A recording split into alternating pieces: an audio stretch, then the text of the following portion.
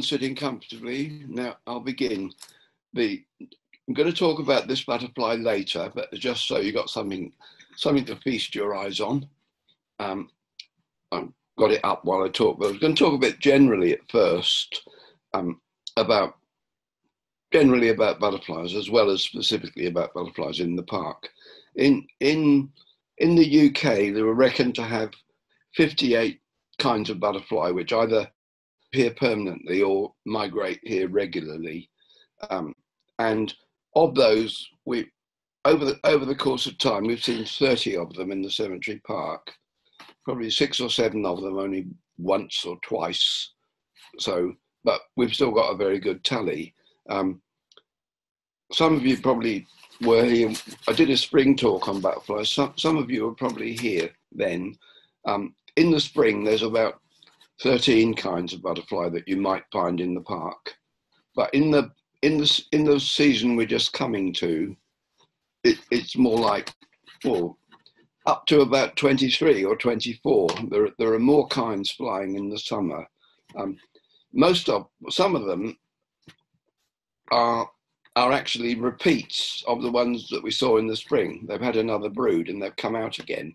The only the only exception that the only butterfly we've got in the spring that we don't have in the summer is the orange tip, which will be familiar to quite a lot of people. But I wanted to sort of say, well, a few more general things. One, I think one thing to say, one thing you can say about butterflies is that although they can be elusive, you know, you, what's that flashing past me? They can also be very visible to watch. You know, like that speckled wood sitting there, you, would be able to watch everything that it did when it was on what looks like hawthorn blossom, I think, that picture. Um, but you'd be able to see how it's holding its wings, you'd be able to count its spots if you wanted to. And that's the, the um, you'd also be able to see its proboscis uncurled and going into the flower for the nectar. And you could look under, maybe you could even glimpse what's underneath because it'd be quite different than what's on top. Um, one, one thing I noticed is something I've only just le- only just learnt by mugging up a little bit in my books on something, is that speckled wood. When you see the spots on the hind wings of the speckled wood, apparently sometimes there are three, and sometimes there are four, and the the two they're not different kinds, but they have some differences in how they behave, according to whether they've got three spots or four. I'll, I'll come back onto that later. Anyway, you, you can sort of see that when that butterfly is settled, you can see it very well, which is more easily perhaps than you can watch something like a bee or a fly, which move, moves faster. Um, you you can not, but you can not only look at butterflies when they're settled, you can also look at them when they're flying. And I think I can confidently say that every kind of butterfly that we we have in the park, every single one has sort of a way of flying which is not identical to any of the others. So when you when you really get to know them, you can pick up all kinds of funny differences. And sometimes it's enough just to see how one's flying. You you know what it is, even if you can't see any of the colours. So you, you can actually watch butterflies very closely. The one one thing to say is if you want to, if, if you see a butterfly which might be settled on the ground, and it might have its wings opened or closed, and sometimes when they're op- when they're open, it's a way of getting warmer if it's nice and sunny, uh, spreading your wings.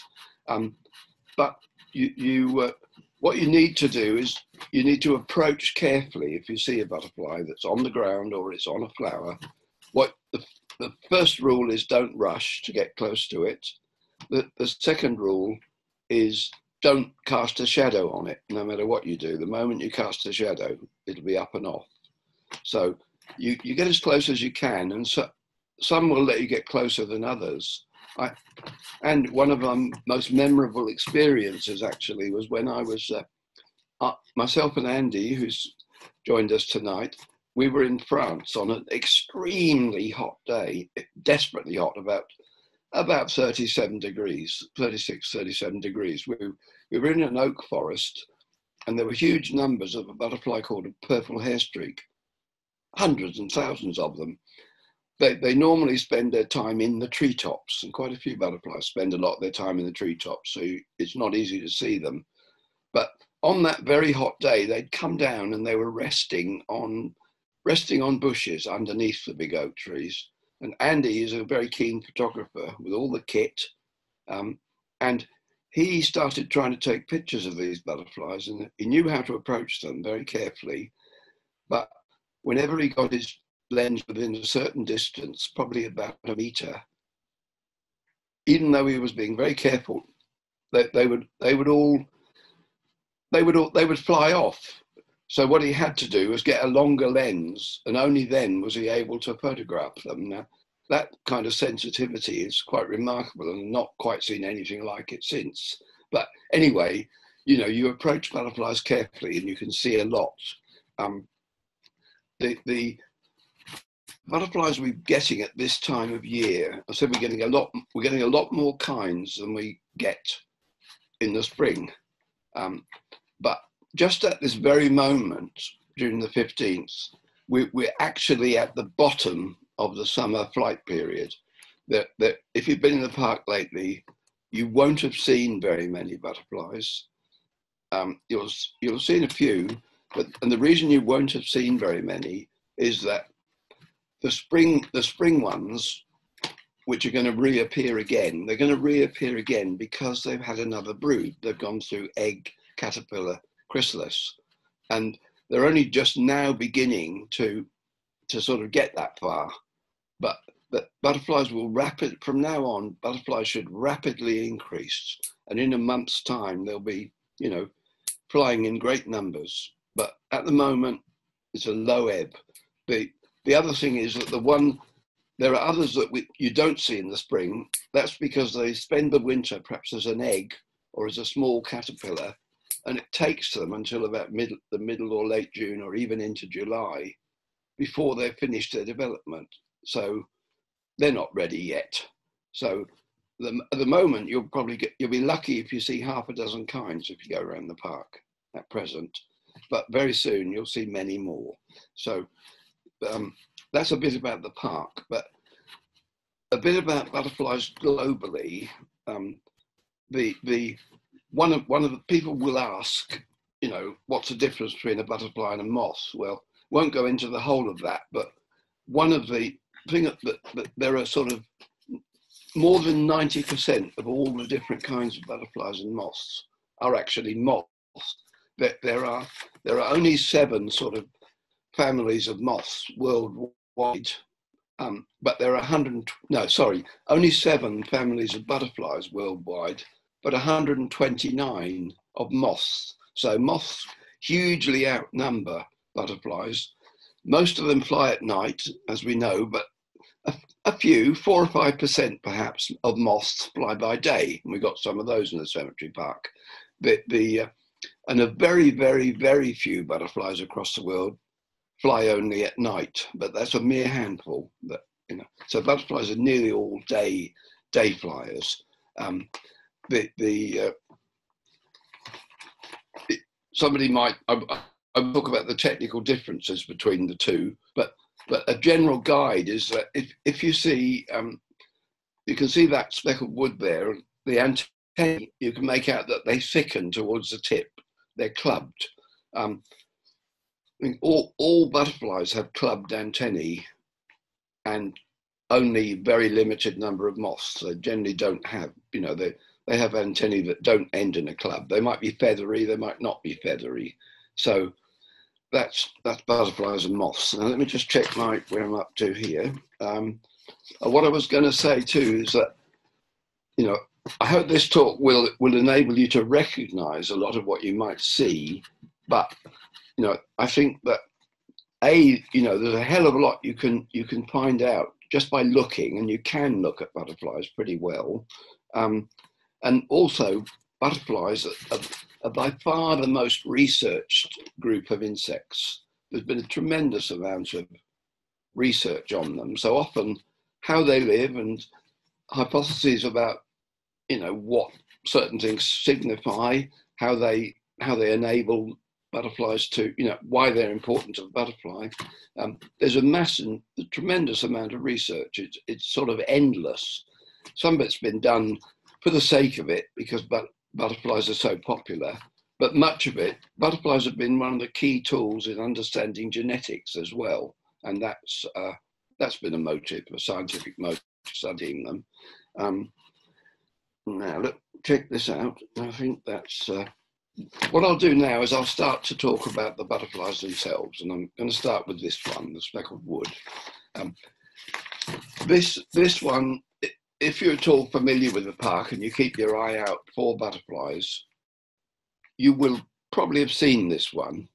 Uh, the, the, the best place to look for it is, is not where you might expect. You don't look for it out in the open fields, although you may sometimes see it there.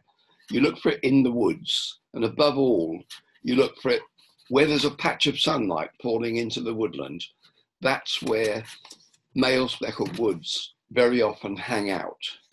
Um, the the um, and, w- and when they do, what, what they're doing, what what what you'll see, you'll almost always see males, and that that that happens with most of the butterflies. You see far more males than you see females, because the females, males are sort of flaunting themselves. They're moving. They're often moving around a lot, or they're behaving in a conspicuous manner. P- females are not.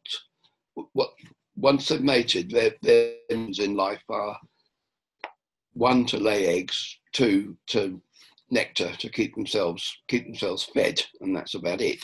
But the males are constantly on the lookout for females.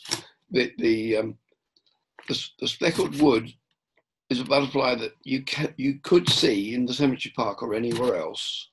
In principle, you could see it on any day of the year from sometime in March, late March, until early November. Um, this is unusual that a butterfly is present so constantly, and there's a special reason for it. it. It's because it's it's the only butterfly that we've got in this country that has two different ways of spending the winter some some of them pass the winter as caterpillars and they don't come out to be butterflies until about middle of May. But others pass the winter as a chrysalis and they come out from the end of March. So when when sort of one lot goes, another lot starts. There, there are a few of those around at the moment, not not many, but a few. And at some some points in the summer, you might see lots of them. The the um, I did. A, I, I'm going to probably talk more about the speckled wood than about any other kind of butterfly, because I thought, well, you know, it's particularly interesting in various ways.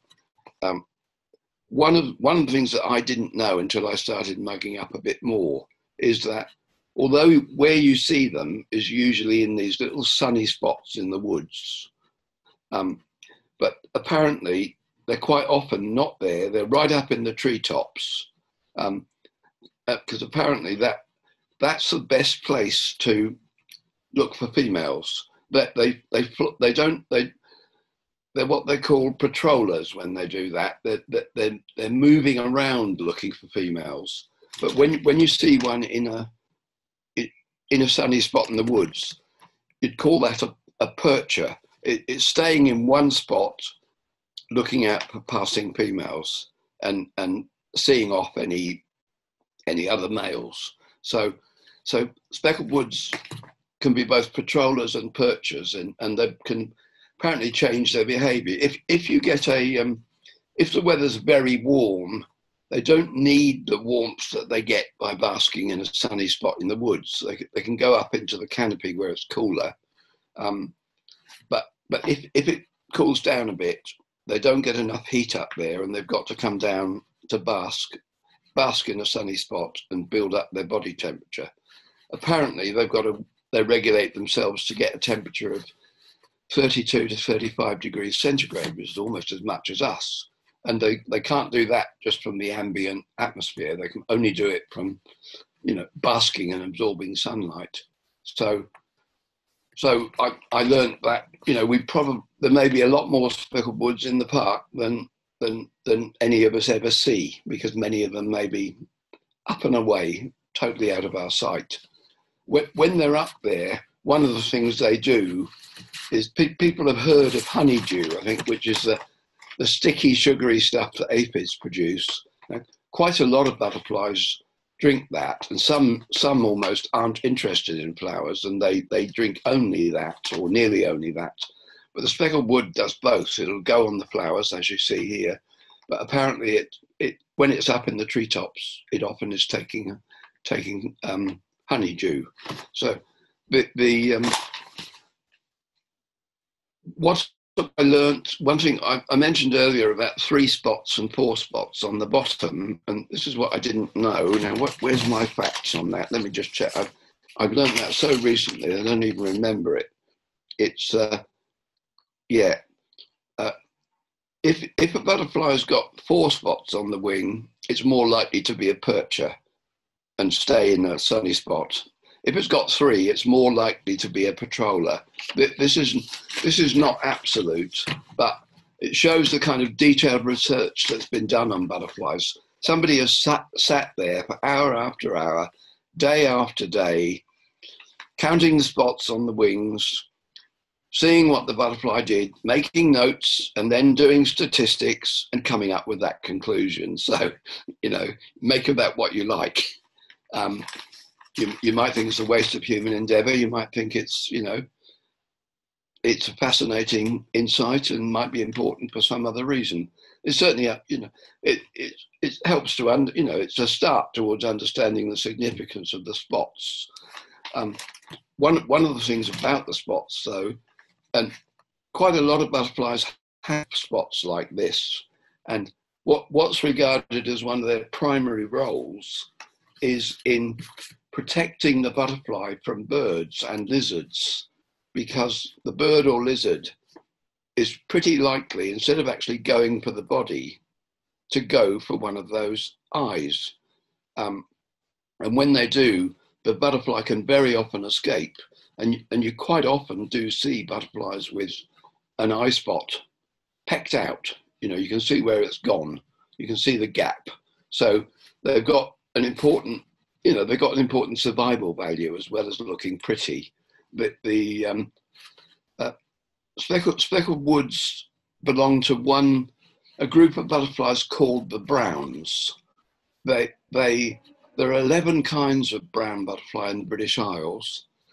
Three of them we will never see in the park because they're almost exclusively found in Scotland. They're really northern butterflies. They're butterflies of cool climates.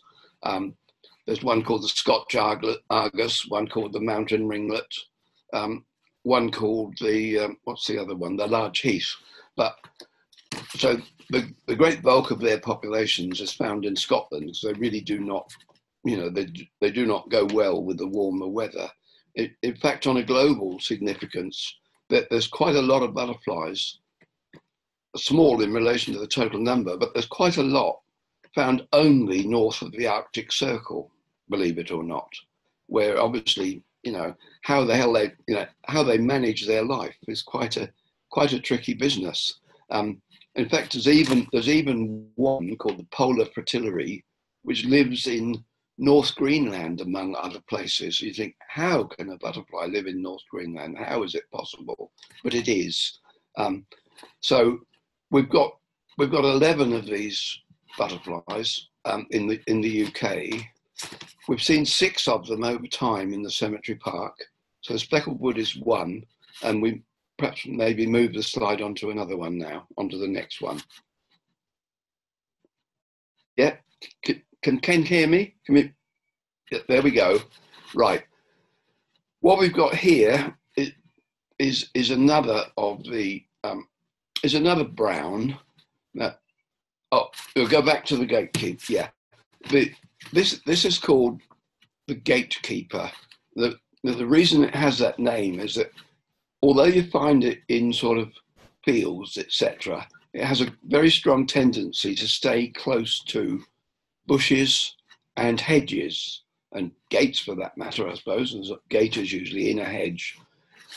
But what what the reason they do that is is that that the males have the instinct to know that's that that's where they're most likely to encounter a female because the, the female is on the right and you can see it's different than the male um, but the female, um, they lay their eggs. They lay they lay them on grasses, but not just on any grasses. They lay them on grasses that are partly shaded by bushes and shrubs. So that's where the females are going to make for, and therefore that's where that's where the males hang out. If we're looking at it, the, the one on the left is a male, and the male you can see on the forewings, you can see two brown patches.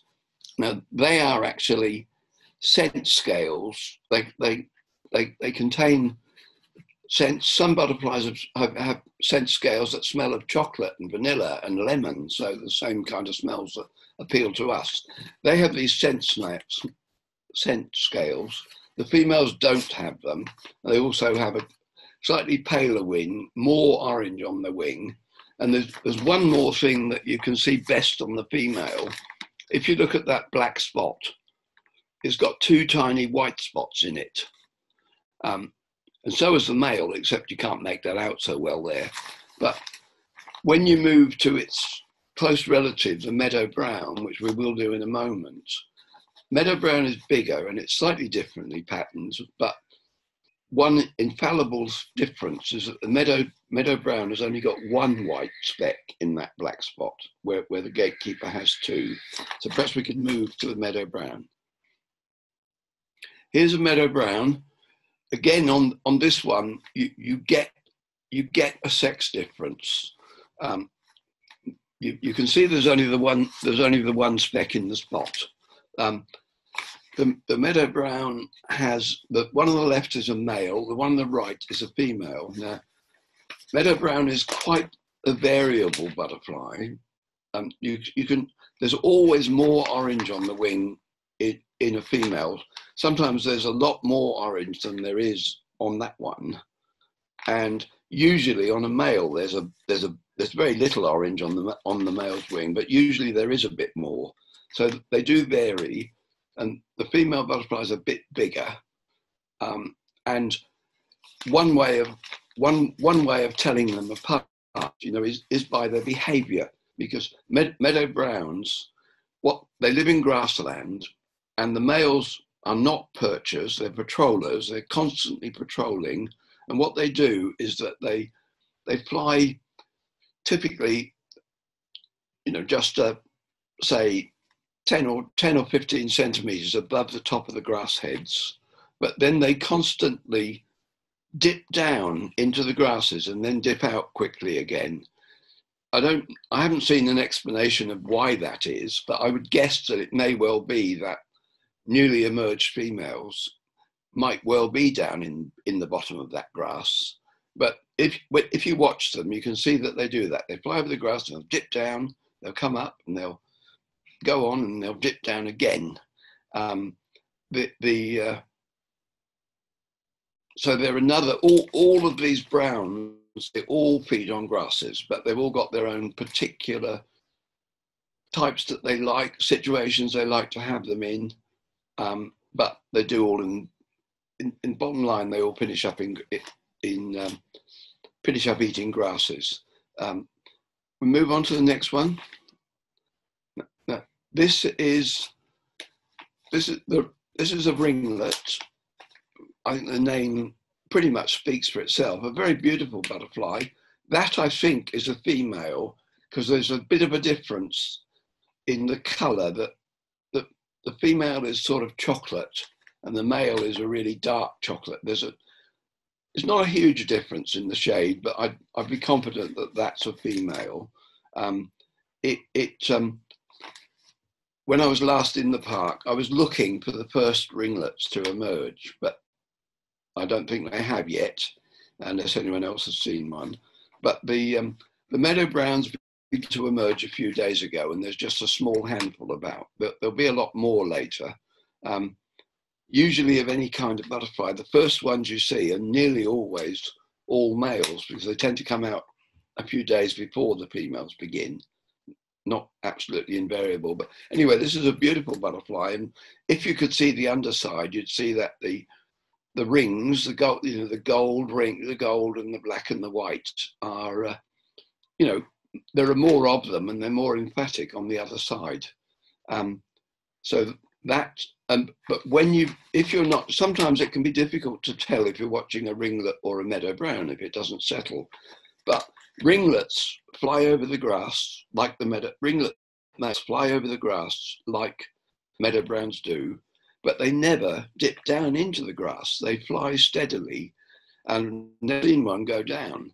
I mean, obviously, they, they don't know what they're doing. The male doesn't know what it's doing. It's built in instinct. But I presume that, you know, you're not going to put the speckled wood females don't don't hang about at the bottom of the grass. So if the males were to dip down there, they'd be wasting their time. So I think we could move on to the next one. Now this this is also a brown believe it or not. The brown, you know, is a it's a sort of general name for the group because most of them, I think all the others that we have in this country are are sort of brownish in various forms, but not this one. Um, this, this is a straightforward brown in every every other respect. The caterpillars eat grass and everything else, um, and but it's black and white. The the um, the male and the female of this look quite similar, but if you look underneath, females are very underneath. They're very slightly yellowish underneath. Otherwise, they're not so dissimilar to the top. Um, more muted, and the, the black is more like a grey. But the we've only seen the marble white. I've um, in the park twice, to the best of my knowledge, and I, I'm the person who's seen both of them. Haven't seen one for three years now, but it's one of those butterflies which is actually spreading quite strongly in the urban area. So we live in hope. Um, so if anyone happens to see one, and we're just coming up to the beginning of the time when they'll appear, and then they'll fly throughout July and into the beginning of August.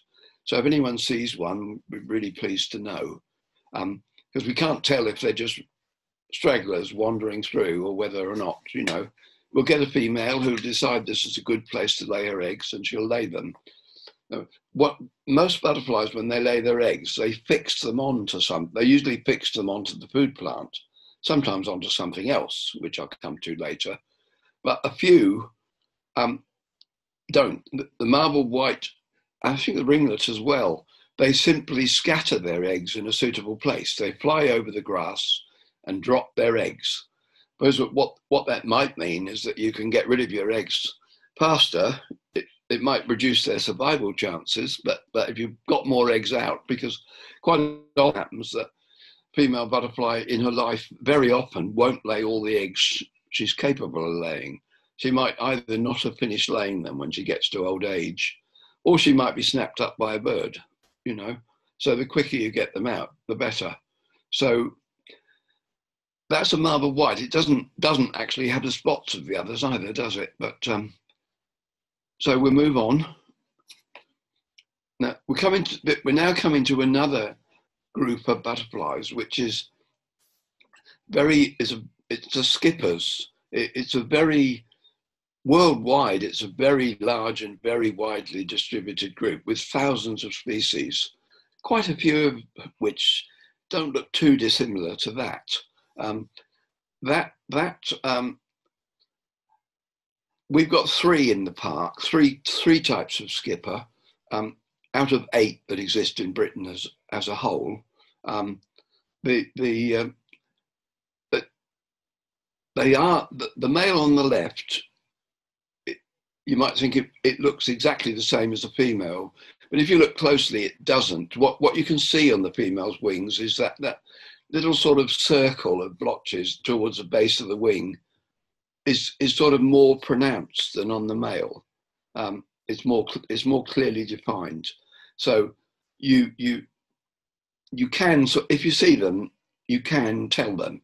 You you nearly always see the males because, and in fact, they they have just begun to emerge. I've seen three, I think, so far, but they're what they do. They're they're a percher, very classic percher. But and what they do is they anything that flies past, any other butterfly, doesn't have to be its own kind, some even a bee probably or a fly, they'll they'll up they'll fly up at it, you know, and and often they'll come back to the exact spot that they they left from. They know exactly which leaf they were on, and they'll often come back there. So and and they hold their wings in a peculiar way. They're neither closed nor fully open. They're kind of, I think you can see there. They're kind of the forewings are raised, and I think the other other thing about telling the male from a female, apart from behaviour, because the female doesn't do any of that business. She just gets on and lays her eggs. Um, but you can sort of see, like we saw on the gatekeeper, so-called sex brand, the, these scales that have aromatic scales that act as pheromones to the female. Um, so that's another way of telling the male. But but one of the things they often do, and, and you, we see this time and time again in the park in the summer, there's a butterfly we're coming to called the comma, and the comma is also a butterfly that perches and flies up ferociously at anything that passes. Um, and you very often find a, a speckled wood and a comma in the same area. But they both like a place that's in the sun but sheltered by bushes. Um, and they'll, they'll, they'll be spending all day flying up with one another. They'll fly up and then two minutes later, up they'll go again and down they'll go again. So, you know, that's their particular behavior. And they also, they're also grass feeders. Um, but we'll move on to another skipper now. This is the, we, this is one of the two other skippers we've got. What, one is called the small skipper and one is called the Essex skipper. They are smaller than the large skipper. And on the left, I've just, you know, only shown a picture of it an Essex skipper because on site like that, you couldn't really tell the small skipper from the Essex skipper. They look the same, they behave the same. They don't behave like large skippers. They don't fly up aggressively. They, they tend to just flutter around, um, not very far above the heads of the grass, and they don't move all that fast, and they settle quite often. But there's there's there's one easy way of telling the difference between the two species, and that's illustrated in the next picture. You you have to either catch it or get very close to it, um, and you'll see that the underside of the antenna has this very distinct black tip on the Essex skipper. On, on the small skipper, it doesn't. There there isn't that sharp definition, and we, we in the park, I think generally speaking, the small skipper is a commoner butterfly than the Essex skipper, but we we seem to have far more Essex skippers, and that's that they're grass feeders too, uh, but they well both both the small and the Essex the caterpillars feed on grass, but they um, what what they um, now where was I there with that one? I lost my thread there for a moment. I'll get it back again. Um, yeah, they both feed on grass, but the, the small skipper prefers to feed on grasses that tend to grow in dampish environments, and a, a grass called the Yorkshire fog grass is a, is a favourite. And the Essex skipper favours grasses that grow in dry environments, and the, what they call the cocksfoot grass is, is one of the main ones. So we've got rather more dry and dry grassy environments than we have got wet ones, damp ones. So it's probably why we've got many times more Essex skippers than we've got small skippers, but we do have both. Um, the, the one curious thing about the Essex skipper is that it, it lays its eggs in July, but they don't hatch out until the following March or April. They don't hatch out until the following spring, where, whereas the small skipper lays its eggs at a similar time, and the little caterpillar hatches out but then it, it, it makes itself a shelter winter. It doesn't eat anything and it doesn't wake up. It doesn't start eating until spring. Now, that, that's made a very big difference to the, to the fortunes of these butterflies because when Europeans settled North America, they took animals and they took hay to feed the animals and to feed them while they were traveling, to them immediately when they arrived. And that hay could very and often did contain the eggs. If they went over in the winter, it would contain the eggs of the Essex skipper. So this butterfly is now a pest in eastern North America, where they call it the European skipper. but the, I think the small skipper with a tiny fragile caterpillar wouldn't have survived. You know, that didn't get to North America, presumably because any grass that had the small skipper tiny caterpillars in, they wouldn't have made it to uh, to North America. So there's a there's a story. We do the next one. Right. Um, we got three common white butterflies in the park, and we, to save time and all that, I talked about these in the spring, but Ken's put on one slide um, the three of them for two, for two reasons. One, so that you can, you know, to tell the difference between them. What we've got on the left is is a female large white. Um, now, it's I know it's a female because it's got two black spots. If it were a male, it would look similar. It would only have one black spot. Um, I think the, and the wingtips in both sexes are quite pronounced, and it, it's bigger than these two ordinary cabbage whites. Um, well, they're not cabbage whites are the wrong term to use, but the middle one is a small white, which is a male, um, one spot. The one on the right is a green veined white, which has got one spot. It's another male, but you can see the the veining, you know, the, the black lines on the wing, which the small white doesn't have. And if you looked at the underside of both of those, you would see just a sort of creamy yellowy underside on the small white with no lines on it. And you'd see quite strong lines, which, which are a sort of greenish black, really, quite strong lines on the underwings of the green vein white. Um, we, we see all of these quite a lot in the park. Um, the, the large white is often you often can't see many, but at certain times in the summer, which are not predictable, you may see a great many. We, we had a, session like that last summer. Suddenly you can see 70 or 80 in, a, in an hour's walk. Um, they may have been, some, some of these butterflies, even though they're not, we don't think of them as migrants, they nevertheless, there are often significant migrations taking place, often from Europe. Perhaps if populations somewhere build up then there's a pressure on the surplus to move. Um, so quite why we get these flashes of large whites and then they'll they'll rapidly go down and there won't be many around. Um, but the large white has a curious habit of spending a lot of time flying high up in the trees. And I don't know why this is. I think it can only be because perhaps that's where the females go and the mating takes place because there's nothing up there for them. There's not their food plant, you know. Um, but they nevertheless they do it. The, the small white, if you see a white butterfly flying right out in the open, a long way from any bushes and trees, it's more like it's much more likely to be a small white than a green vein white.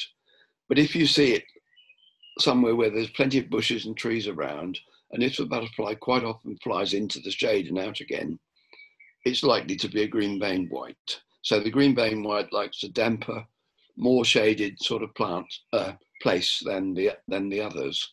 All, all, of these things eat plants in the cabbage family, um, and in fact, the large and small white will also eat garden nasturtiums that some gardeners may know, e- even though they're not in the cabbage family, but they've got some of the same chemicals. But the small white and the, the green vein white doesn't eat garden cabbages. It tends to eat plants like garlic mustard, which grow in the woods, where whereas the small white will eat garden garden garden crops, loves cabbages, but they, it'll also eat um, things like wall rocket, and they're all in the cabbage family. So um, I think we can move on to the to the next slide. This is one that there's two here, two butterflies here. When I did the spring talk, I, I, I spoke at more at more length about the brimstone than anything else but I won't do that now. It's a lovely shot, that one, of a male brimstone. If it was a female, it would be a paler lemony colour. But talked about, now, the, the brimstone is an extremely long-lived butterfly. Um, it, there, at the moment, there will be all around the cemetery park on the on buckthorn bushes, which is a food plant. There will be there will be the chrysalises, and possibly in, in one to two weeks, they'll start to hatch, start to see them again. Um, and then we will see brimstones until sometime in August. Most of them then go into hibernation, um, but occasionally one will pop out in September, October, or even November, and you might you might see one then. But they'll be sleeping for the winter, often in ivy or holly bushes, which, from which you can see you know the, the leaf shape and the little marks on there, which are part of the proper pattern. They might look as if somebody's been splashing red ink, but uh, they're part of the pattern and they look like perhaps a blemish on a leaf, you know. Um, but you may see these again. If, if you get a very warm February day, they may come out. So you can you may see them from February and certainly from March up to up to the beginning of June. In a cooler spring than this one, you would you would still be seeing them now, but I think they've finished. But they won't. They'll, they'll only have about a fortnight's gap, and then that. So brimstone you can see almost all year if you're lucky. One on the right, brim, brimstones and whites are all in the same family. Um, and so is yeah, and so is the one on the right, which some people might recognise as a clouded yellow. Um, if it opened its wings, but they don't. It's what neither of these open their wings when they're resting usually. So they, when they settle, they close their wings. Um, the the um, but the upper wings are a kind of stronger yellow colour with more black markings. The, the clouded yellow is strictly a migrant. Some come to Britain every year, but in most years not that many. And the best place to see them is usually on the South Downs or the Dorset coast if you go walking there on a summer's day, you're, you're almost bound to see a few. But up here, we may go years without without seeing one. I, I saw one last year. Uh, about two years before that, we had we had breeding in the park. We saw some in the early summer, and then we saw more in late summer. So we've got the food plants for them in the park, so they're clearly bred. Um, they can occasionally be present in huge numbers, but that's very rare. So that's clouded yellow and brimstone. So we move on. Aha! Now, this this is uh, this is something that has just begun. The butterfly that is just coming out now. I mentioned it before. The comma. Um, the the uh, I've seen the. I think I actually saw the first one on June the first, which is. Uh, but I saw the last time I was in the park. I saw four but we should see an increasing number. They're just coming out from the chrysalis. They, they, they like the brimstone, they also hibernate as a grown up butterfly. And what you can see on the right, you, you look at that very eccentric wing shape, and it's, it's um, with the mark underneath that, that gives it its name, um, which is always there.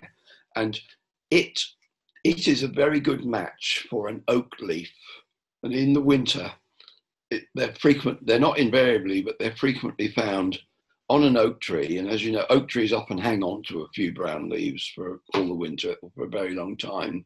But but one of they've got a they've got a peculiarity. The the ones if you go in the park tomorrow, any comma you see will be not one which is going to hibernate. It, it will be a brighter orange. We haven't got the top of the hibernating one, but it'll be a brighter orange, and the scallop.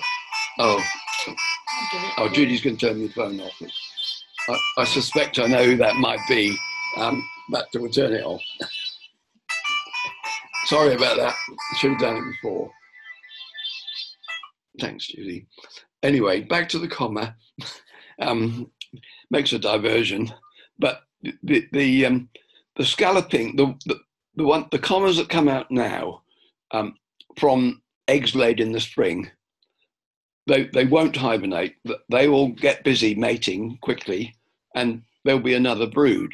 But, and that brood will be, um, that brood will hibernate, but um, we'll, we'll also have that, um, the, the, uh, some of the ones that come out when you when you get into July, there'll be comma eggs that were laid rather later in the spring will not look the same as this. They'll they'll look like the ones which spend the winter hibernating. and they will. They they won't be interested in breeding, and they will fly around, nectar up, and then they'll hibernate, and and and then next spring out they'll come. So that that's unique. It's only the comma in this country that does anything anything like that. Um, I, I once saw in the park. I, I saw something really interesting. It was on a buddleia bush, and there was a new. There, there was one of these commas would have been a female, and it was on the flowers. And along comes one of the older males, which was still still going, over, overlapping with this new emergence. And my God, you know, he, he just could not understand why she was totally uninterested in his advances, absolutely uninterested. He was scrabbling around like a mad thing. Um, but she she just ignored him completely and carried on nectaring. But she her sexual, you know, she wasn't sexually mature. So, you know, that was a strange combination. Um, we the comma is uh, is a nettle feeder, and we're going to come on to some. We'll, we'll come on to the comma soon. Next one. Right now, the comma and the peacock and a number of other butterflies are, are they, they're, they're, they've always for a long time been known to be closely related in one of the big butterfly families the, the Browns always used to be placed in a separate family, but in the last, I don't know how many years 20, 30, 40 years the scientists have decided that the Browns and the, you know, the peacocks and the commas are actually very closely related, even though they look rather different. Their caterpillars are quite different. Um, but nevertheless, and I, I, don't know why, I don't know what, what the reasoning is, but I trust it. The, the ones, comma and peacock and related caterpillars are always spiny like this, which is quite a protection against birds. It's not a protection against everything, um, but it, uh, it gives quite a lot of protection. But when we look at the, in, in fact, um, I'd asked Ken a while ago to try and get a caterpillar of the peacock. You can see it's on a stinging nettle leaf. And in fact, what the peacock does, she lays a whole lot of eggs together, perhaps perhaps 50 or 80 all together. So when the little caterpillars come out, they all live, initially they spin a web and they all live within that web. And that web also functions as a toilet and they eat everything in and around it. When they've eaten it, they all move and they make another web. But when they get to a certain size, they stop making webs and they separate a bit, although they all stay in the same general area. So those are those are fully grown peacock caterpillars. Um, the um, the comma caterpillars are not they're not they feed on nettles as well, but they live one by one. Um, the Ken told me today. Somebody, somebody told me yesterday that they'd seen one of these crawling on the ground. They didn't know what it was, but when they described it to me, I knew what it was. Um, and Ken told me today that, um, in fact, we, we somebody found a, a, group of them on nettles near our compost heap. We, we, we expect most years we can find one or two batches of peacocks. So I'm glad that they're with us this year. But the butterflies have now all gone. They flew in the spring, but they will begin probably in the second week of July. You should start seeing peacocks. We don't get an awful lot in the park, but you'll see some. And those, those um, it's another. There's another example of these eye spots here. Now, that, those eye spots could well, you know, they could deflect a predator and, and peck at them, but that probably is not how it works because when the peacock's resting, it very often rests with its wings closed, and underneath, you can see the black edges. Underneath the underside of a peacock is completely sooty, and possibly its natural hibernating place is in a burnt out tree. I have found them there when I was a child found three in one tree. But what might happen if a predator comes along and pecks at that?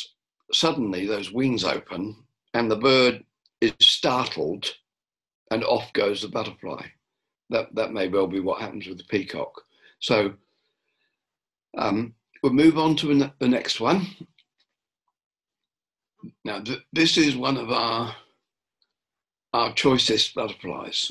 this is a we, this is one of the the few that we've got that are have quite you know are not really um, you, that you really wouldn't expect to find anywhere in the inner city. Um, silver wash fritillary the picture on the right, it, it, doesn't show the full gleam, but there's a kind of greeny and silvery underneath on, on the wings, which you can see. So that that's why it gets its name. It's very big. It's not our biggest butterfly, but it's one of the biggest. Swallowtail and purple emperor are bigger. Um, what what you can see on that one is that on the the middle one, that that's a female. The, the, the black markings on the wings, many of them are joined up on, on a male, they're not joined up. They're separate black patches and none of them are joined up. So you, if, when you see one settle, you, you can tell if it's a male or a female. Now, on, on the left, there's a caterpillar. Oh, and interestingly enough, it's on the flower of a violet, which I didn't know until it's the first time I've seen this picture. And it's actually the first, I've seen pictures of a caterpillar in the book, but I've never seen one in real life. It, it um, its food is violet leaves, and we've got an awful lot of violets in the park. So I think Andy McGuire and I first saw one of these in 2006, and we weren't sure about it. We chased it up and confirmed it, but we've seen one. We've seen them in every year since, except in 2016. Nobody saw one, but they must have been still there because they reappeared in 2017. But the the um, what they do, the females they don't lay their eggs on the violets. They lay their eggs on the trunk of a tree, which is next to violets. Traditionally, they're supposed to lay them on oak, oak, oak, tree, uh, oak trees, but they will lay them on lots of other things. And I did once have the great good luck to, to actually see one in the park lay its eggs on the trunk of a sycamore tree. Any, anyone who can remember a sycamore tree will know that the bark is most, mostly smooth with little paler grey patches on it. And she was laying her eggs in those paler patches because they're sort of rough and they give her little niches for the eggs to be tucked away in. The, the weird thing about those caterpillars is, is that, like the small skipper, they hatch quickly, but they don't come out of their eggshell until the spring. Then they sniff out the violets and they go down the tree and they start eating. So that's so that that that butterfly will could could be appearing anytime from next week onwards. How many we'll see, I don't know. 2018 was the best year. 2019, they were down somewhat, and only saw seven or eight in total. Saw about 25 in 2018, which is by far the best. So whether or not what will happen this year, who knows? But they, they actually, the males, they, they glide and soar, you know, in open spaces with where it's sunny, surrounded by trees, but they're really, really, you know, very powerful flight. So if you see something like that and it's going around, you know, in a great soaring motion, that's what it'll be. So look out for them. They'll, they'll be around, say, from late June into mid August. Um, so we can move on to the next one. Now, this, it, we hear two, two butterflies, which are among the most familiar butterflies the red admiral and the Painted Lady. Um, the the Red Admiral, we you know we always we, we we will. What can we say about the Red Admiral? Well, it's a fascinating sort of butterfly. It's got a wonderful, you know, wonderfully bold sort of pattern on its wings, but underneath, like all butterflies, it doesn't have a bold pattern. Underneath, it's got a camouflage pattern. Um, it often rests like that, and it's um, in fact what seems to be the case, I don't know whether any, well, Andy or anyone else will bear this out. I've seen more red admirals this this spring than I usually do. Quite a quite a few more. Not not masses, but but sort of dozens rather than just four or five over the course of a spring. You, usually they don't get going in numbers until about now. But the fact that they were, the fact that there were a lot of them about earlier might mean that we're in for a really good Red Admiral summer. And you might, you might find this is very familiar. This is one of the butterflies that you, you might find just absolutely anywhere. It, it's an immense traveler, it's an immense migrant, and a lot of them migrate here, but they also, I don't know how many, but there's always some spend the winter in the cemetery park hibernating. That they um, and and they will they when you get a warm winter day, they will come out for a while and and choose the most sunniest sheltered spot they can find and sit there and face their wings towards the sun. They'll, they'll often they won't sit on the grass. They'll sit on a dry leaf because the dry leaf will be warmer than the grass. And uh, you know we have had red admirals in the park in every single month of the year. Uh, I've even seen one on the winter solstice, which is, you know, if you get a, what you got to get is one of those perfect winter days when there's no wind, the sun is unimpeded, and the temperature's at least about nine degrees. And then you've got to, you go and look for a sun trap and you might find one. The, the, um, the painted lady is a migrant, and people know that sometimes the last summer was a was a reasonable summer for the painted lady, and I remember Jim and Jenya particularly saw one. Um, the the uh, it was one of the better summers, but it wasn't a classic summer when they're present in enormous numbers. About about every 15 or 20 years, you get enormous migrations in spring, and they breed up, and and you can get you know, millions upon millions upon millions of painted ladies uh, around the uh, around. You know, you may see them, and sometimes you'll see. I, I have seen in the park sometimes. One day there have been painted ladies everywhere, and the next day they've more or less all gone. Often that's because they, they haven't really finished migrating, they've gone further north. Some years they even breed in the Shetland Islands and Iceland. So and, and the painted lady is one of the most widespread butterflies in the world. It's, I think it's found in most continents, um, and it's a huge mover. It's not found in, it's not really found in tropical, tr- fully tropical regions, regions, but it's found in Mediterranean regions and possibly just into subtropical regions. And um, so, and it's a very fast flyer. If, if you see something on the ground and whoosh, there's a there's a whoosh and you didn't, you know, you don't know what you've seen. That was almost certainly a painted lady gone. Um, I think we could move on. Right, we're moving now on to one of the other families of families of butterflies, which is the blues and the coppers and the hair streaks. They're all grouped together in one family.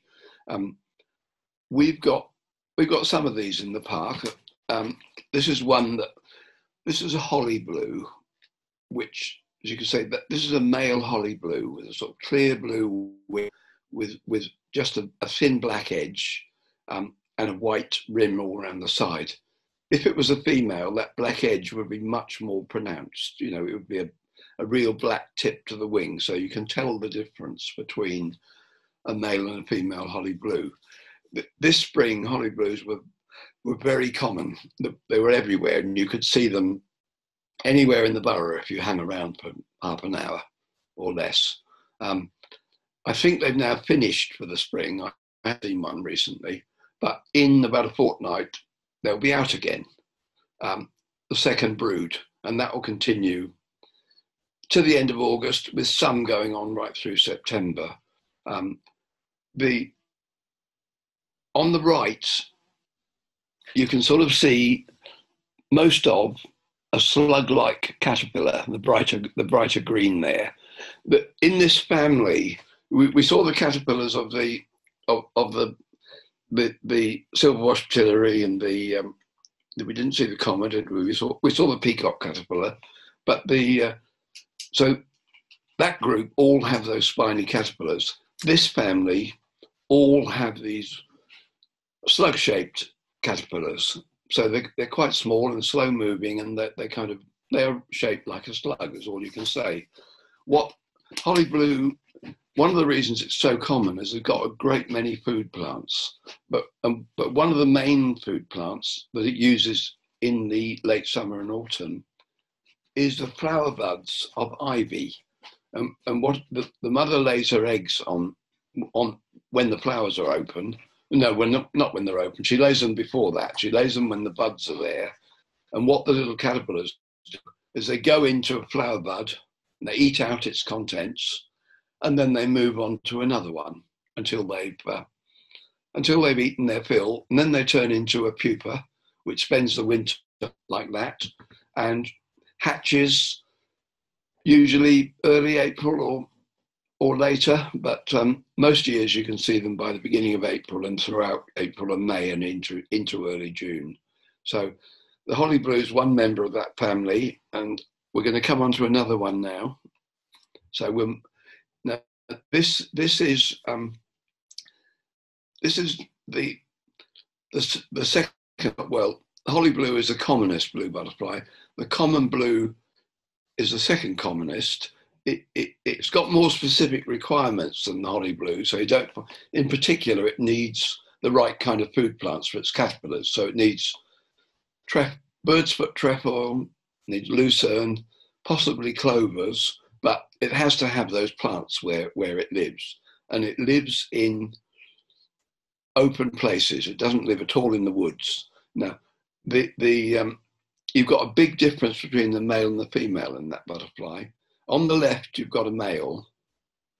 On, on the right, you've got a female. So the male is blue and doesn't have any of those orange spots. The, the female has got not much blue. Some have more, some have less than that. Some people, but they've always the female always got the orange spots. Um, the the uh, I think Ken's got a picture of the underside for me as well. Is that Ken? It might be covered. that it is on that same screen, Terry. He ah, just right. might not be able to see Ken, if your gallery is there. I just, would other people, Depends how you've got your screen arranged to see. Well, I, I, don't. It doesn't matter if I see it, but I, I, if other people can see it, yeah. what you should have there is the fact that both of them. I don't know which sex that is, but they're similar underneath, and unlike the holly blue, which has only tiny, tiny little black dots under its wings, that common blue has quite an elaborate array of spots. Um, quite what purpose they might serve, I don't know because they can't. They're not the kind of thing that are going to deflect a bird or a lizard, particularly. They're not. I don't know what their function is. I've never read it up.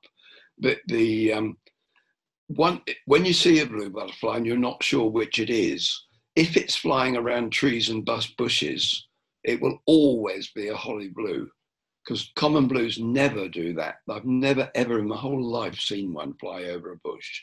They fly about a meter above the grass usually, and they they keep strictly to the open.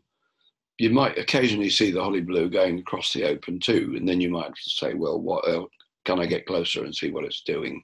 Um, so that's those two. And what's next? I asked myself. Ah, yeah, this is the this is the butterfly for which we have gained sort of greatest fame in terms of butterflies.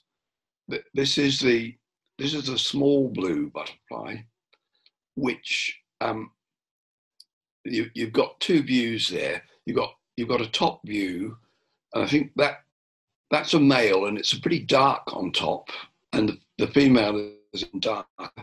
Um, underneath, it is blue with those black spots, as you can see. They're not so different. They're rather similar to the black spots underneath the holly blue, but the small blue is very tiny and it's got very specific requirements. It, it its caterpillars only eat a plant called kidney vetch, and the only part of the kidney vetch plant they eat is the young seeds. You know when they're still soft and green. So they're, they're very fussy and their, their life cycle is tied up tremendously with the plant. And kidney vetch is a fussy plant. It'll only grow in very dry, sunny sort of places. And it, if you've got such a place and nobody does anything about it, it, it in two years' time, you may come past and there isn't any kidney vetch because taller plants have gradually managed to swamp it out. So the, the um, so we've got well, I haven't seen one yet this year, but we've got we've got a tiny population of this, and we're trying to, which, which is unusual. It, it will have made its own way here, but this is one one of the things is that even butterflies which which form colonies like this one does, in many cases they know that the that a small proportion perhaps of the mated females will will head off and maybe turn up miles away and with a bit of luck found a new colony if they happen to have the right conditions there. The, the um, one of the ways they know that things don't maybe don't move very far is when when you get one of these colonial butterflies. What you can do is what they call mark and recapture experiments. You go along one day and you catch some, and you put a you put a certain paint mark underneath the wing, and you let the butterfly go, and you go catching more each day, and you see which ones you recapture, and if you recorded where you found them, you can see how far they've moved from where you caught them last time, and and you can sort of and and and you can also well you can't tell when about you know new new butterflies are dying and coming in or dying and um, and, and being hatching at the chrysalis all the time. And you may have butterflies flying in from some distance away but you can get a pretty you can get a pretty good idea of how much they move. And in some cases, there's a relative of this called the silver studded blue that apparently it's almost unknown for it to move more than 100 yards from where it was born. But the small blue is known that it will up and go. So we maybe, the first one we saw was in 2012. So maybe then or in even several years before, we had a, an intrepid female land and find some kidney vetch and there you are. So, but and that but that that butterfly, the females stick very close to kidney vetch plants, and when they want nectar, they go to kidney vetch or that plant, which is bird's foot trefoil. Um, the males don't do that. What what the males do is hang around in a long grass area, not too far away away from the kidney vetch, and they keep an eye out for the females. So that's a small blue so we can move on if there's any more to move on to. Oh yeah, another small. Um, I'm, I'm hanging out my smalls. Um, the, the uh, this is a beautiful little butterfly, very perky. Um, we, we, we see them pretty well every year, but never in large numbers. But they're a they're small copper. You can see why it's called the small copper. But there is also a large copper, which uh, was a British butterfly that lived in the fens, but it's been extinct for a long time. But you can still see them in you can still see them in France, and they're they're quite spectacular. They're not that well. They've got a lot of orange on them, and they're bigger than that. And they're a sort of sky blue color underneath, which is extraordinary. When, when they fly, you see this whole alternation of orange and sky blue. But the small copper isn't sky blue underneath, but it, it's it's perky. It, it, it set up a territory, rest on a rest on a flower. Um, if, if a bit later in the summer you're passing some ragwort, that's a very good plant to look for them on. But I think last year recorded about seven, so you're quite lucky if you see one. Um, we haven't got to double figures for a very long time, but you never know. But the caterpillars eat sorrel, which is a plant we like to encourage in the park, but we don't. We're not very successful at encouraging it. So we haven't really cracked the secret. Um, so we don't we don't have a lot of sorrel, but uh, so that that's another member of this. You know, it's closely related to the blues, and the caterpillar looks similar, looks slug-like, and so that's the small copper. We move on, and this is your last one, Terry. Yeah, that's right. Now, how are we doing for time? Not not. Oh, we're, we've You've gone over. We've been going a long time. I'll, yeah. I'll stop when I've talked I wanted to show this. This is a butterfly that we've only seen a few times in the park, but it's very elusive. It spends most, it lives on caterpillars eat elms. They eat the flowers of elms um, and the developing seeds, but they they spend most of their time high in the treetops drinking honeydew. They don't often come down, and when they do come down, they never ever ever spread their wings. But you can see we, we have this and we have purple hairstreak and we've got three other hairstreaks in Britain, but we've only got the two in the park. But you can see this white letter, this W um, on there, which extraordinary really, it gives it its name. But more importantly, a lot of hairstreaks have got what is, is more striking in, in some cases than in this one, that they've got like on their hind wings, they've got these little processes that look like a false head. That doesn't look totally and convincingly like a false head, but in some hairstreaks it really does. So that's interpreted as something that gets the bird which has seen it snapping at that instead of the real head. So, you know, lovely thing to see. And we we may have we may have a lot of them, but they're so hard to find that um, we're not sure unless you do a lot of searching. Um, so uh, I think that's the end of the pictures, and so I haven't left as much time as I hoped to, but uh, I'm happy to take questions. Thank you very much, Terry. Um, I'm. Let's see what's going on. I can take over for Michelle because I know Michelle's got something to get to. So if I can find out from her where we got to with any questions, I can then take over the chat and see if there's anything left. So let's have a I look. think basically we're we're all good. There was just one question at the very start from Jerry. I don't know if Jerry's still about and wanted to reiterate what what she was asking, but it was about um spots on the very first butterfly, and now I can't remember what. the speckled wood. I got the, Yeah. I couldn't remember. It was the three and the four. Can you hear me? Yeah, Yes, we yeah. can, Jerry. It was the three Yeah. and the four spots, and I couldn't remember which way. There's a different behaviour. Well, to some, yeah, I, I, I didn't actually know this until I, I mugged up a bit more on the speckled wood. Um, I think that that the, the the ones with three spots are more likely to perch when the males with three spots are more likely to perch and then intercept any passing female. The ones with four spots are more likely to patrol, to get up in the treetops and go actively looking for. That makes sense? Yep. Okay. Can I ask a question? Sorry if no one else is. About what was the what was the one that um the one that ate the violet leaves one that lies lays on the sycamore Yeah, the, sil- that, that was the silver wash fritillary. silver wash fritillary. Yeah. So two um so we've got a patch of land on this estate where there are violets. Yeah. It's quite shady. There are sycamore trees. I'm just wondering about whether we should try and influence the cutting. I, I, I, I think one of the things I didn't, that's a, I'll tell you why that's a good question, because a lot of the butterflies we got in the park would be impossible to kind of have as breeding colonies in, in, in a small space, in anywhere less than say five or 10 acres. Um, okay. And some of them are not so fussy. A red admiral can turn up anywhere and lay on your nettle patch, you know, a small white can. But I think the, the silver wash fritillary, I'd have to say, forget it.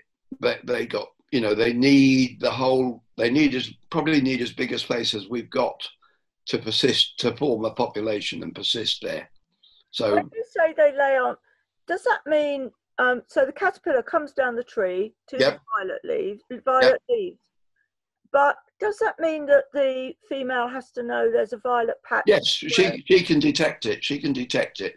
They've got very, I mean, butterflies, one of the things that they often, det- they, but, butterflies have to lay on the right food plants, and the general way in which they do it is through their feet. They've got chemical receptors in their feet. Um, they land and they test, and then if it's right and they think the plant's a good one, then lay an egg. You you can. The easiest way to see this is with white butterflies. You'll you'll see them if you see a white. It may it, they'll tend to go on low little things close to the ground. You'll see it land on something, fly off, and if you you know that plant is not in the cabbage family, you you can be quite certain she won't lay an egg. Um, and because she's picked up, she hasn't picked up the right chemical signal.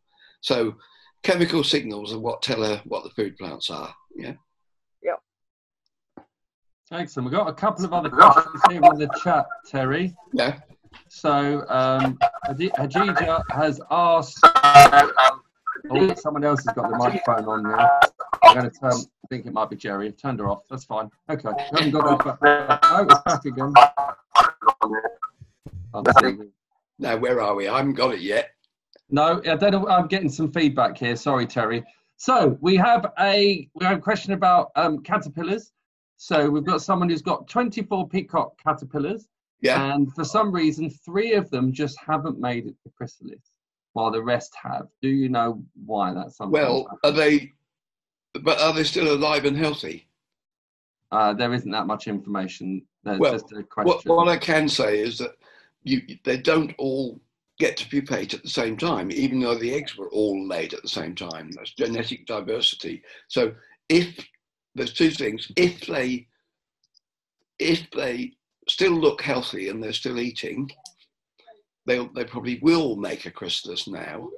If, if they look dead, they've either got a disease and died, or it's possible caterpillars get very widely parasitized by little little wasps which lay their eggs inside them and eat they start eating their insides but they don't eat the vital organs until the last moment. So and and, and what you get instead of a chrysalis and a butterfly is you get a little tiny you get little tiny wasps. So it without knowing for sure it you know keep them going. If they haven't pupated just keep them going and they will and if there's something the matter with them, it could either be disease or parasites.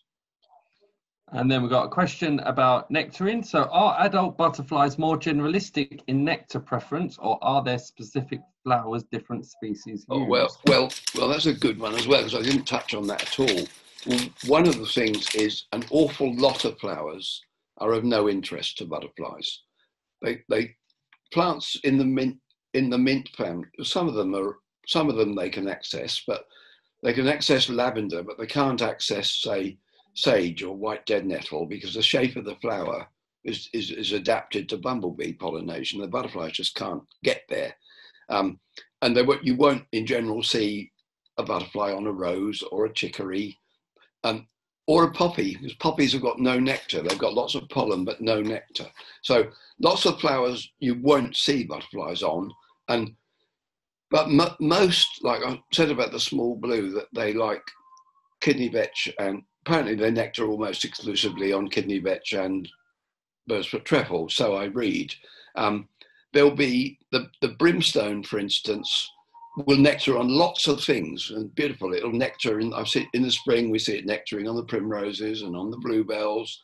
So, but it, has got a great favorite. And th- this is a plant called everlasting sweet pea it's a tremendous favourite in the summer. If you, when the brimstones are about, you look for the everlasting sweet pea patch, and you may find one or two or three brimstones on there feeding all day, and that they will feed all day because they're not interested in mating until the spring. So they've got nothing else to do except feed up and get lots of energy for the summer. So if you, I mean, skippers like the flowers of black horehound, but they're not the only things they like. What one thing to do is when you see a butterfly, see what it's see what it is on and make a mental note and see whether you can build up your own comparative, you know, regime. Some some butterfly books will tell you what some of the particular favourites of certain butterflies are, but generally most kinds will go to quite a lot of different kinds of nectar. Lovely. Thank you, Terry. So Samaya was asking the question about the um, peacock caterpillars, and she has reassured us that the three that haven't um, turned into chrysalis yet are very much still alive. Well, that's it's just time because one one of the things about some of these things is that you know plants and animals don't put all their eggs in one basket. If you have if you have absolutely simultaneous development, you may get some catastrophe befalling all of them, or if they all hatch out at the same time and the weather's terrible, you know. So a spread a genetic spread um, helps to, you know, spread the risks really. So, Excellent. Thank you, Terry. Well, we've gone over by nearly half an hour. Congratulations to Samaya on, yes. on bringing them safely through because yes. one of the things is it's very easy to kill caterpillars by neglect when you keep yes. them.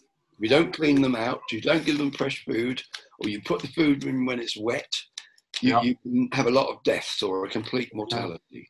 Sorry, can uh, I ask one more question, please? Go for it, Samara. Um, so we've had quite a hard time foraging for nettles for them. It's been it's been it's been a lot of work.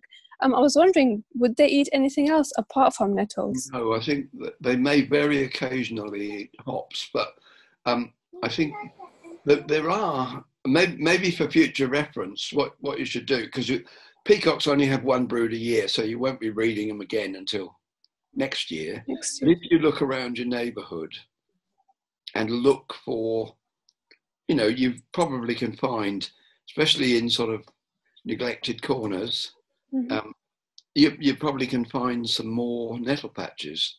Would that be a suggestion? That that you know, then you, you'll make a mental note, and next year you'll say, "Oh, we'll, we'll it'll be easier for us Yeah. now because we know more where they're growing." So, so you're saying that they would only eat nettles? Yes, basically. Yeah. Some things have a range of food plants, and there's nothing that will eat anything. Um, although there's one moth in the world that apparently appears to eat anything. Um, but the, the uh, you've got to give them nettles, and you've obviously been doing it right because you've been drying them. If it's been raining, well, it hasn't much, has it? But you can't. We've dried we've dried them before. you give them wet wet food. But I, I, I can only suggest I can't believe that you won't find in you know somewhere or other. Um, how far do you live from from the farm from Stepney Farm? There's a lot. There's a lot of Yeah. nettles on there. I mean, I'm sure if we have a look, we will Yeah, find you- some. But but no, you can't feed them anything else. I'm afraid. And the other thing, at this time of year, the nettles are tending to get a bit, sort of, you know, a bit tatty. It, the Mm. fresher and nicer the leaves you can give them, the better. You know, when when the leaves start getting tatty, you you uh, you know they may not they may not suit the caterpillar's digestion.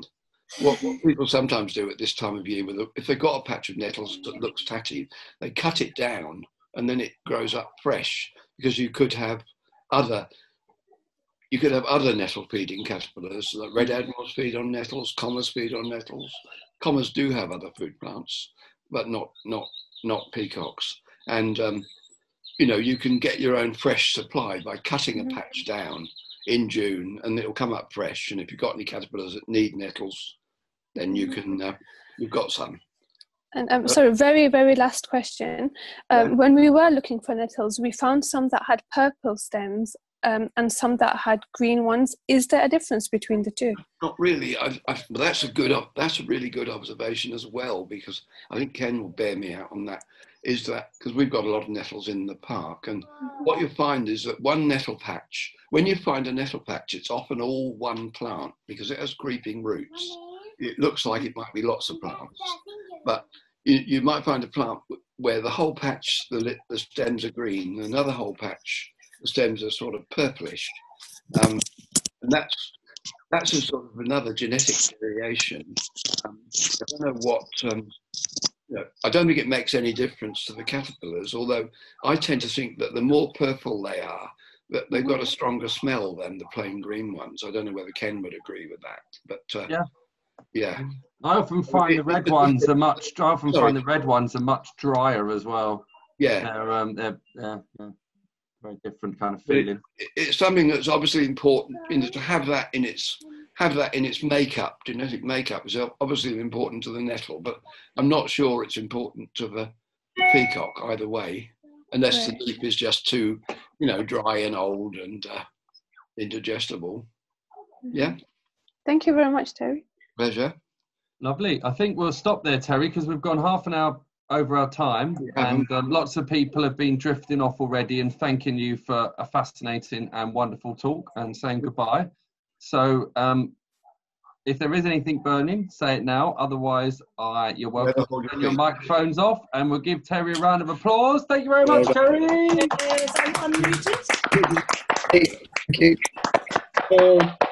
And you're all free to enjoy the rest of your evening. Friday, we have Diane, uh, one of our trustees and heritage lead, telling us all about grave symbolism. So check out our ticket tailor site to sign up for that one. Otherwise, enjoy the rest of your evening. Thank you, Terry. Thank you, And uh, Terry. I might see you tomorrow. Bye, Thank everybody. you. Terry. Thank you. Thank you. Bye. bye Thank